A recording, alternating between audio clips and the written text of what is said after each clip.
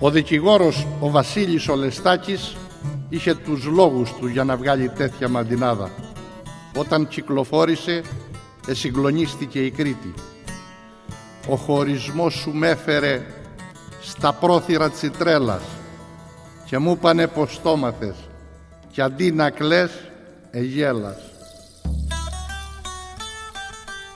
Όταν αραβωνιάστηκε ο Κώστας ο Βιτόρος στην Ελένη τη Χερέτη από το μεταξοχώρι της είπε «Είσαι βροντί και θύελα, μα κι η καλοκαιριά μου, δροσιά και αγέρι του βουνού, νερό μες στη φωτιά μου».